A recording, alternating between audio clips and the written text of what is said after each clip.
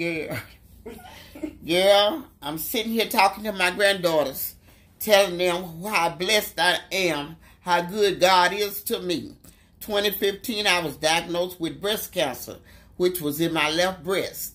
So, to make a long story short, I came back and talked to my family because of the surgeries that they were going to perform on me. They said first they were going to take one breast, then they said no, take both of them due to my age. I was devastated. Didn't want no breast cancer. So I talked to my daughter, which does herbs. So she sent and got me some soursop bits and started me to taking them. I was drinking them every day, three times a day. By the second month, when I went back to my doctor for them to check, she was measuring my breast, what had the size of the mass that was in my breast.